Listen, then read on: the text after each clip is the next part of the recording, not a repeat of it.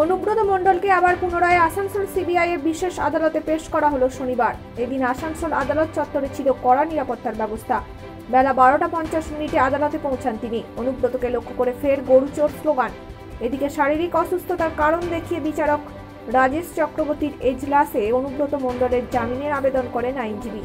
তবে সূত্রের খবর আগামী চার দিন তাকে হেফাজতে নেওয়ার আবেদন জানাবে সিবিআই। কাছাকাছি চলে এসছে ঢুকছে বলে দাও বলে দাও। আপনারা দেখতে পাচ্ছেন যেরকম অনুব্রত মণ্ডলকে সিবিআই আধিকারিকরা নিয়ে আসছেন।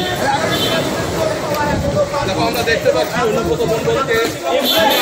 দেখতে পাচ্ছি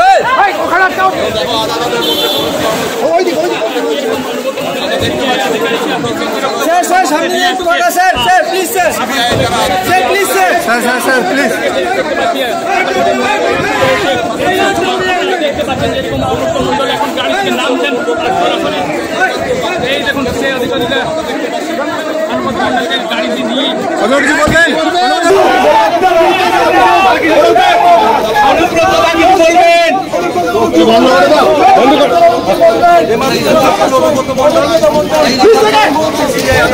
অনুব্রত মণ্ডল